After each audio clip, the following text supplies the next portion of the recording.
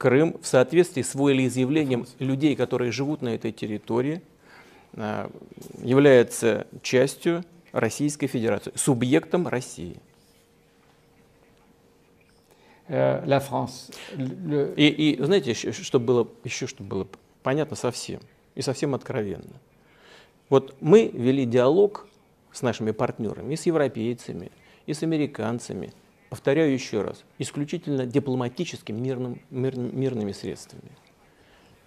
Нам ответили на вот эти наши попытки э, вести диалог таким способом и договориться о приемлемых решениях, нам ответили поддержкой государственного антиконституционного переворота на Украине.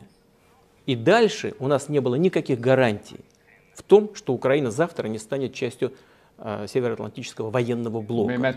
Североатлантического военного блока. В этих условиях позволить, чтобы историческая российская территория с преимущественным этническим русским населением ушла вот туда, вот в какой-то какой международный военный альянс, при том, что сами жители Крыма хотят быть частью России, извините меня, по- по-другому мы просто поступить не э, могли.